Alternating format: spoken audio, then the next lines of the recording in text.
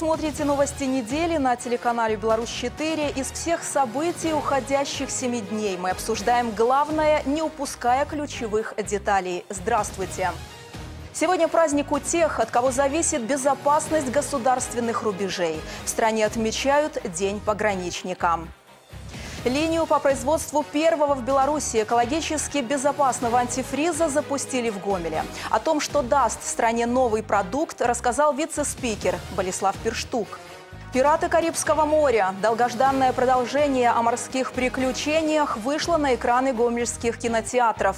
О главных культурных событиях в нашем обзоре. В ближайшие 26 минут неделя из жизни Гомельской области. Какой ее увидели наши корреспонденты. Сегодня праздник у тех, от кого зависит безопасность государственных рубежей. В нашей стране отмечается День пограничника. Службе исполняется 99 лет. Военнослужащие в зеленых фуражках охраняют около 2000 километров государственной границы. О том, как этот праздник отмечают в Гомеле, в материале Анны Корольчук. У преступников и врагов страны выходных не бывает, и пограничники стоят на страже в любое время дня и ночи. Для многих из них праздники, даже свой профессиональный, отдыха не предусматривают. Вместе с коллегами из других силовых структур они этот отдых дарят гражданам.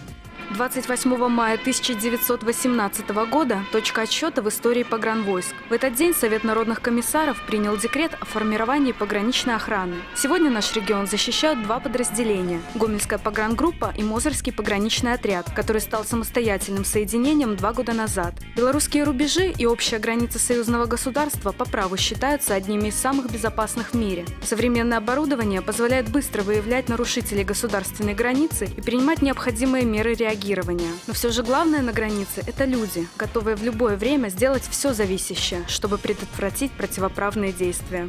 Скажу, что по итогам оперативно-служебной деятельности пограничной группы за прошлый год мы занимаем одно из лидирующих положений в системе органов пограничной службы. Э, конечно, есть над чем работать, но тем не менее уже на данный момент выставляются пограничная застава, планируется к выставлению еще пограничная застава, вводятся в штат новые подразделения. Поэтому я думаю, что в этом году мы уже обеспечим, по крайней мере, приложим все усилия, чтобы обеспечить гарантированную охрану государственной границы. Накануне профессионального праздника на территории войсковой части 1242 торжественно открыли ритуальную площадку, первую и единственную в Гомеле. Это не просто красивая композиция, но и символ мужества, стойкости и отваги пограничников. Память о погибших воинах, защищавших границы нашего государства. В основании площадки заложены кирпичи из Брестской крепости. На мероприятие пригласили представителей старшего поколения, ветеранов пограничной службы. Даже в отставке пограничники не бывают бывшими. Это особое боевое братство, свято чтущее свои традиции. Хочу пожелать молодому поколению, нашим продолжателям службы пограничной на участке Гомельской области, государственной границы, удачи, здоровья, крепкого семейного счастья, любви, всех земных благ, чтобы они, э, так сказать, достойно продолжали традиции пограничных войск, органов пограничной службы. Сегодня в Гомельском сквере имени Дзержинского традиционно прошел митинг, на котором собрался личный состав, офицеры, командиры и ветераны органов пограничной службы. На торжественном построении сотрудники Гомельской погрангруппы получили новые воинские звания, награды и благодарственные письма. В их адрес звучали поздравления и слова благодарности за доблестную и честную службу. Анна Корольчук, Игорь Марищенко. Новости недели.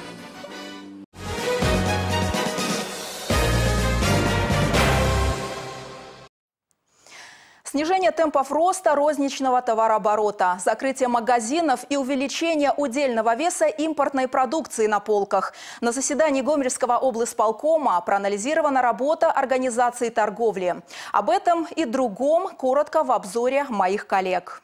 По сравнению с соответствующим периодом прошлого года, розничный товарооборот в регионе в этом году уменьшился почти на 2%. Одна из неприятных тенденций – снижение объемов продажи товаров отечественного производства. В первом квартале такая ситуация отметилась в 15 из 21 района области. Еще один актуальный вопрос – выполнение государственного социального стандарта по обеспечению населения торговыми площадями. Только за первый квартал в сельской местности закрыли 43 магазина, при том, что кроме облпотребсоюза обслуживать сельское население пока никто не стремится. Беларусь может построить в Египте молочно-товарную ферму. Технологии будут отличаться от аналогичных проектов в нашей стране. Корпуса для фермы будут не утеплять, а наоборот остужать. Оборудование может поставить Гомель Агрокомплект. Специалисты этого предприятия побывали на месте будущей застройки и оценили масштаб работ. Египетской стороне были предложены предварительные проекты соглашений. Ферма будет рассчитана на стадо в тысячу голов. В Ветке состоялось торжественное открытие нового пожарного депо районного отдела по чрезвычайным ситуациям. Ранее оно размещалось в здании 60-х годов прошлого века. Теперь получило новый дом по улице Луначарского. Строительство велось 2008 года. Для этого из областного бюджета было выделено 3 миллиона 900 тысяч рублей. Кроме обновленного здания, коллектив подразделения получил в подарок и новую технику. Министр природных ресурсов и охраны окружающей среды Андрей Кавхута посетил новое месторождение нефти. Залежи черного золота обнаружены в Жлобинском районе. Сейчас там работают геологи. Насколько, по их подсчетам, удастся увеличить запасы белорусской нефти, выясняла Анна Ковалева. Черное золото в Белоруссии, на Брагощанской площади. Бурить скважину здесь, в Жлобинском районе, начали в прошлом году. Первые образцы горной породы, насыщенные черным золотом, дали подсказку. Еще немного и будет нефть. На сегодня удалось продвинуться на тысячи метров и обнаружить уже чистую нефть, причем довольно высокого качества. Скважина уходит вглубь почти на 3 километра. Сейчас ведутся исследования месторождения. Закончить эти работы планируют примерно через месяц. За это время геологи определяют горизонты залежи. Иными словами, узнают, как много нефти скрывается под землей. Хотя предварительная оценка уже дана. По подсчетам, ее в месторождении от 350 до 800 тысяч тонн. У меня в руках нефть, которую получили на скважине номер один Восточно-Доброщанского блока. Это та нефть, которая у нас с вами под ногами. Разработка этой скважины интересна и тем, что здесь применили так называемую систему гидроразрыва. Работать по такой технологии может далеко не каждая страна в мире. Материалы, полученные в процессе бурения скважины, мы тщательно обработали и выделили здесь э, пять нефтеперспективных объектов в этой скважине. Три нефтеперспективных объекта межсолевых мы уже здесь испытали и получили притоки нефти. Сейчас идет работа с четвертым объектом. Через месяц геологи передадут объект Беларуснефти, которая займется уже плановой добычей. В перспективе скважина будет приносить до 10 кубов в сутки. Компанию ей составит еще одно месторождение. Оно расположено буквально в двух километрах отсюда. Там удалось углубиться в землю примерно на полтора километра. В планах же спуститься до двух с лишним километров. Для оценки ситуации новое месторождение посетил министр природных ресурсов и охраны окружающей среды Андрей Кавхута. Возможности переработки на наших нефтеперерабатывающих заводах достигают 20-25 миллионов тонн. Поэтому, безусловно, этих объемов, которые добывает Беларусь, недостаточно для загрузки мощностей наших предприятий. Если говорить об объемах собственного потребления, это порядка 30-40% э, добываемая наша нефть обеспечивает потребности, ну, собственных, скажем так, нашей страны. Остальное приходится закупать за рубежом, а для сравнения одна тонна белорусской нефти стоит как 5 тонн российской. Поэтому активные поиски новых залежей – вопрос первостепенный. И даже несмотря на то, что весь мир сейчас переходит на зеленую экономику, ищет альтернативу нефти, сбрасывать ее со счетов пока не приходится. Вы понимаете, как бы нефть – это же не только топливная сфера, это и химическая промышленность. Поэтому с учетом того, что будет уменьшаться доля нефти как э, в плане автомобильного топлива, энергетического ресурса, она будет усиливаться в других областях. Поэтому а, я думаю, что она со временем всегда будет востребована, просто немножко перераспределится сфера э, использования нефти. Вообще 99% всей белорусской нефти добывают именно в Гомельской области. Новые месторождения открывают каждый год. На сегодня в стране их обнаружено 82. На 60 из них ведется активная добыча. Одновременно исследуются и другие территории. Ученые разрабатывают новые методы поиска нефти, которые повысят шансы на успех. К слову, специалистов, которые этим занимаются, готовит лишь одно учебное заведение Беларуси – Мозырский государственный профессиональный лицей геологии. Обучение здесь максимум практики практика ориентирована. Год э, примерно на отделение мы выпускаем около 300 человек. Мы целенаправленно же готовим и для Беларуснефти. Вот именно по заявкам предприятий наших белорусских. Кадровый госзаказ выполняется полностью. К слову, всего через несколько месяцев диплом лицея обретет уже международный формат. То есть уровень подготовки специалистов за последние годы стал намного выше. Люди, которые выходят из этих стен, свои знания и опыт приносят уже на рабочие места и добиваются результатов. Отчасти благодаря им и запасы черного золота в будущем однозначно будут расти. Кстати, в прошлом году удалось увеличить их в два раза. Тогда получили 1 миллион 645 тысяч тонн. В планах на этот год нарастить добычу еще на 5 тысяч тонн, а это около полумиллиарда долларов. С такими цифрами на фоне всей Европы наша страна выглядит как минимум достойно. По добыче нефти из расчета на одного жителя наша страна занимает седьмое место. Анна Ковалева, Валерий Гапанько, телерадиокомпания «Гомель». Новости недели.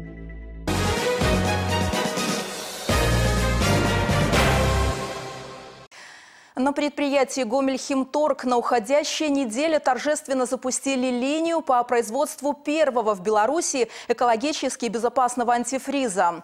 Новый продукт сможет занять 5% в общем объеме рынка страны. Это примерно 650 тысяч литров в год. Проект реализован в рамках инициативы «Зеленая экономика» программы развития ООН и профинансирован Евросоюзом. Зеленая экономика на сегодняшний день – это свыше двух десятков различных проектов, реализация которых способствует улучшению экологии Беларуси. Они охватывают самые разнообразные сферы человеческой деятельности и экономики, от экотуризма до производства офисной бумаги и сбора трав. В нашем регионе создание экологически безопасного антифриза станет вторым так называемым зеленым проектом. Первый реализует в Житковичах, где производятся пропели. Вообще переход к зеленой экономике – это мировая тенденция. Многие страны в последние десятилетия столкнулись с проблемой утилизации отходов и производства уникального для Беларуси антифриза – шаг к ее решению в нашей стране. Так считает и Болеслав Перштук, вице-спикер Палаты представителей Национального собрания Республики Беларусь. Весь мир и Европа, прежде всего, столкнулись очень давно с проблемами экологическими. Да? Особенно при больших объемах производства появляются, понятно, отходы, как твердые, так жидкие, так летучие и всякие другие. Поэтому проблема любой цивилизованной страны, а что делать с отходами? Даже здесь, на данном предприятии, вот на нашем химторге, мы пообщались со специалистами убедились, что у нас образуется достаточно много отходов, которые до сих пор не нашли переработку. То есть утилизации нет. Благодаря реализации экологических проектов в рамках программы «Зеленая экономика» решаются и экономические задачи. В частности, появляются новые конкурентоспособные продукты и создаются дополнительные рабочие места, отметил Болеслав Перштук. Решаем в данном случае вот как бы несколько задач. С одной стороны, получаем новый продукт, это новые рабочие места, это занятость вот для данного предприятия тоже важно, пусть небольшое количество. А с другой стороны, мы нашли экологически чистый продукт. То есть мы одновременно решили проблему утилизации. Представьте все, все наши транспортные организации, имеющие большой промышленный транспорт, что они сегодня делают? Они где-то его накапливают, они где-то его очищают, в конце концов платят штрафы за нарушение, одним словом несут издержки определенные, и при этом, а, по сути, не знают, что делать дальше. Поэтому вот мы, когда, я полагаю, выйдем на проектную мощность, мы сможем рынок потеснить. На постсоветском пространстве экологически безопасный антифриз – абсолютно новый продукт. Хотя в Евросоюзе он известен давно. Теперь Беларусь может приблизиться к европейским экологическим стандартам. И если потребитель оценит новый продукт, то можно наращивать объемы его производства и вытеснять импортный антифриз с внутреннего рынка, уверен Болеслав Перштук. Если это все будет раскручено, если оно пойдет нормальный потребитель его сможет получить и будет удовлетворен его потребительскими свойствами, есть возможность наращивать объем. Тем самым потеснить наших, а, по сути дела, производителей импортных, которые поставляют сегодня в большом количестве к нам в Республику Беларусь этот антифриз. Прежде всего, это российские производители, и это программа еще импортозамещения. Поэтому тут много плюсов в одном маленьком проекте. Можно сказать, что мы решаем параллельно как минимум три вот мощные задачи. Да? Это импортозамещение, это экология, это создание новых рабочих мест и, по сути, получение новой добавленной стоимости. Вот видите, какие плюсы и какие эффекты.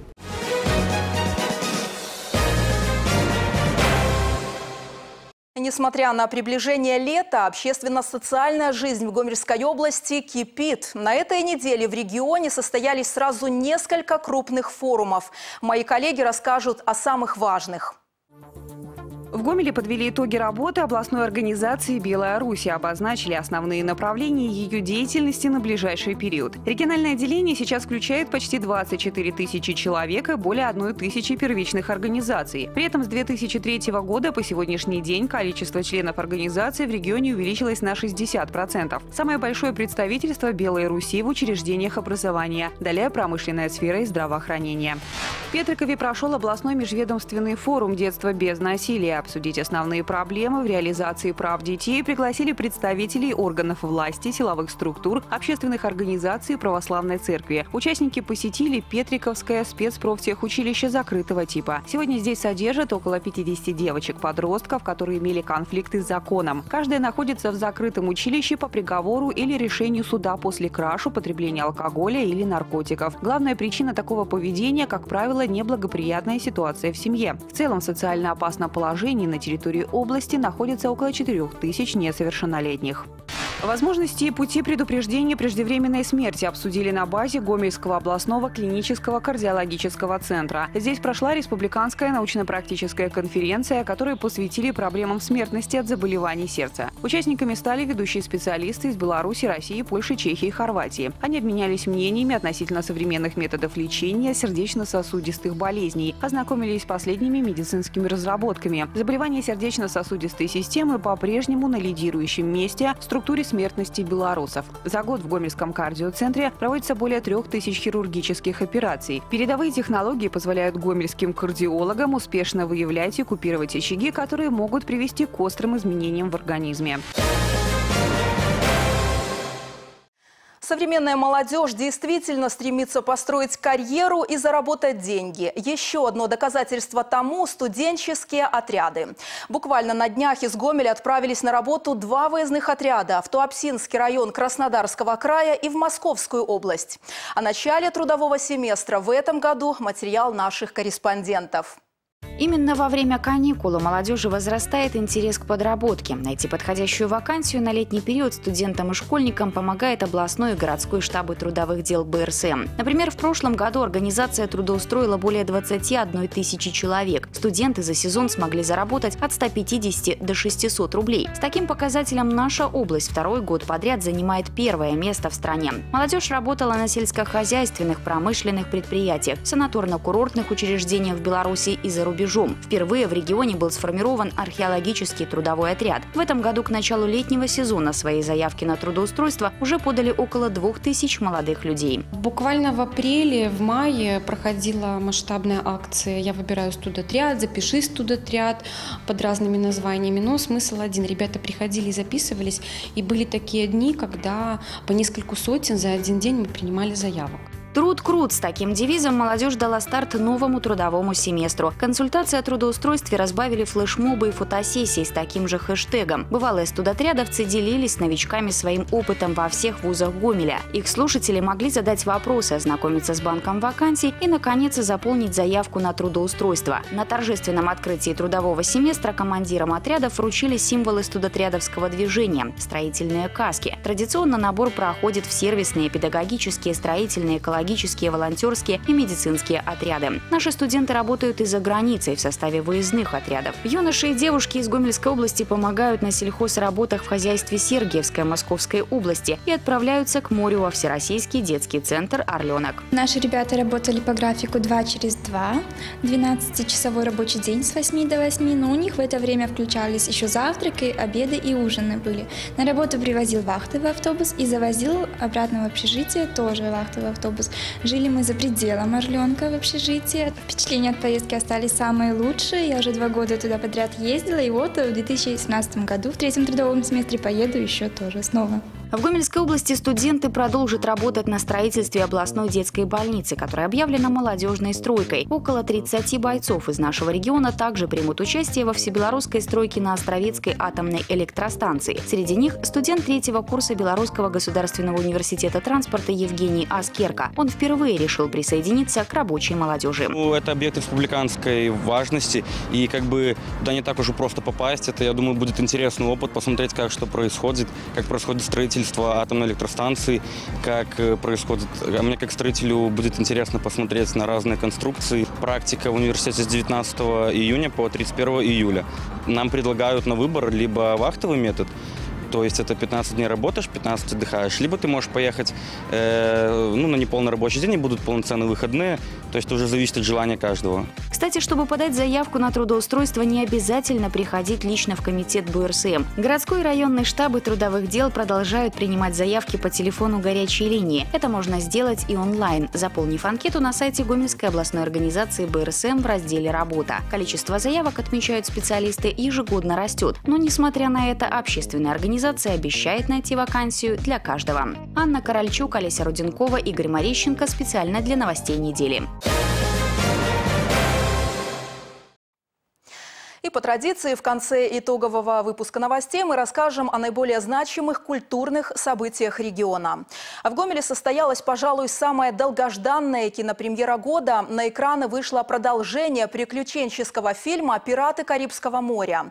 А в городском поселке Карма на этой неделе прошел концерт талантливого белорусского композитора и исполнителя. Лауреата специального фонда президента Республики Беларусь Игоря Квашевича. Для всех желающих был организован музыкальный музыкальный мастер-класс. В ближайшие несколько минут об этом и не только более подробно расскажет наш культурный обозреватель Вероника Ворошилина. В картинной галерее Гаврила Ващенко сейчас можно увидеть оригинальный выставочный проект «Ситцевые фантазии». Здесь представлены работы в технике пэтчворк или, иначе говоря, лоскутного шитья. Каждое отдельное полотно состоит из десятков, а порой сотен мельчайших тканевых деталей. Собранные воедино, они поражают размахом фантазии, тонкостью исполнения и разнообразием сюжетов. Здесь можно увидеть пейзажи, натюрморты, орнаменты и абстрактные композиции. Выставка «Ситцевые фантазии» – это красочный коллективный проект талантливых художниц из Беларуси, России и Литвы. В соседнем зале галереи не менее креативные полотна. Это старинные изделия из бабушкиного сундучка, дополненные белорусским льном. Они удачно вписались в современные интерьерные арт-объекты. Все экспонаты сделаны вручную с большой душой. Примерить на себя роль их создателя на открытии выставки мог любой желающий. Организаторы провели мастер-классы по лоскутному шитью. В городском поселке Карма на этой неделе прошел концерт талантливого белорусского композитора и исполнителя Игоря Квашевича. Выступление организовали в рамках масштабного музыкально-образовательного проекта «Беларусь Тур». Он охватывает 120 городов нашей страны. В каждом музыкант-виртуоз проводит благотворительные встречи и мастер-классы для детей. Вечером всех желающих приглашают на общегородские концерты. Цель акции – познакомить горожан с творчеством известного аккордеониста и найти талантливых юных музыкантов. Осенью они примут участие в галоконцерте проекта в столице. Реконструкцию походного лагеря 14-15 веков представили в Гомеле атмосферу ушедшей эпохи, возродили клубы исторической реконструкции Беларуси, России Украины. Посетители увидели процесс приготовления блюд в средневековых походных условиях, при этом некоторые можно было попробовать. Гостям праздника предложили также поучаствовать в интересных средневековых играх. На уходящей неделе в Гомеле состоялась долгожданная кинопремьера. На экраны вышло продолжение знаменитого приключенческого фильма «Пираты Карибского моря». В кинотеатре имени Калинина это событие сопровождалось яркой и зрелищной театрализованной шоу-программой. Фойе учреждения превратилось в импровизированный корабль развлечений. Главные герои праздника, харизматичный Джек Воробей и его верная команда, предложили зрителям отправиться в интересное морское путешествие. Следующая неделя обещает быть не менее запоминающейся. В Гомельском городском центре культуры состоится танцевальный спектакль-мюзикл «Седьмое королевство». На сцене развернется захватывающая история о жизни враждующих землян и марсиан. А во Дворце культуры металлургов города Жлобина пройдет танцевально-развлекательная программа «В стране забытых портфелей». Юных гостей праздника ждет море веселья и приятных сюрпризов. И на этом у нас все. С самыми интересными культурными событиями региона познакомили Вероника Ворошилина и Евгений Макеев. Макеенко. Обзор подготовлен специально для программы «Новости недели». Это были итоги минувших семи дней. На будущей неделе мы продолжим следить за происходящим, чтобы рассказать о главном. До встречи!